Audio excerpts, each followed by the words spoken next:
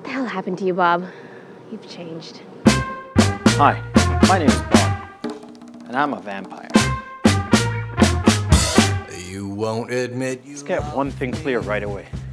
Everything you know about vampires is a lie. The blood thing, wrong. Vampires don't have to kill anybody to drink their blood. And drinking their blood is not like food. Think of it as one hell of a drug. A million times I ask you. The flying thing, don't even get me started about the flying thing. To get to places, I still have to take the bus.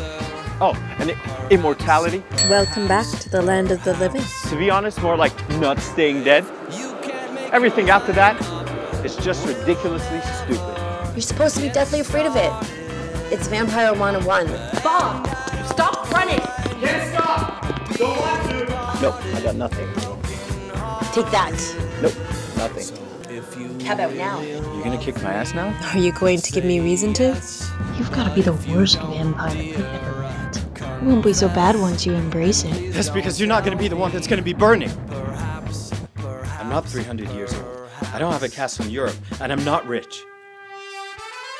Yes, my name's Bob, so deal with it. Man, you're ruining this for me. Basically, I'm the last guy you'd ever choose to be a vampire.